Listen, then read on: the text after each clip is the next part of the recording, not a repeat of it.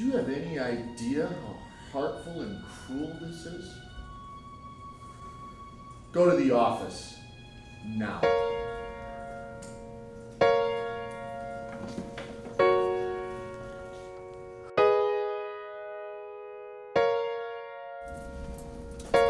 You know the rules, kid, and you broke them.